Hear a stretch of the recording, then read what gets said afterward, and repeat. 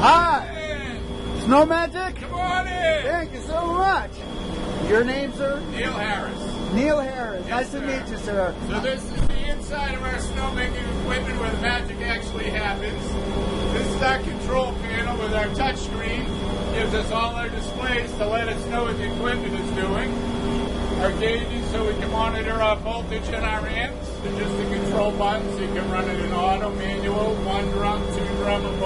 Down here we have our manual control panel. So when it's on manual, you can run things individually just to check and make sure they're operating correctly.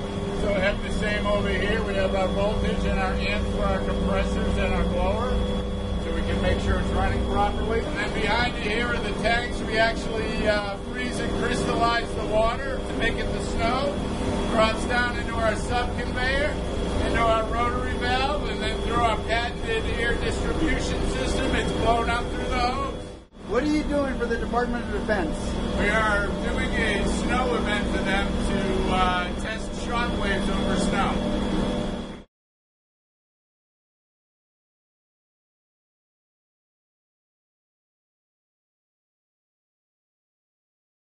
Thank you, Neil, so much. It's been a pleasure. Appreciate the presentation. Absolutely.